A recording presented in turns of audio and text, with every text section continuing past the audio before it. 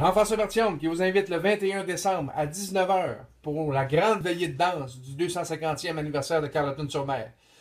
Je vais être accompagné par cinq joueurs de violon. Cinq joueurs de violon.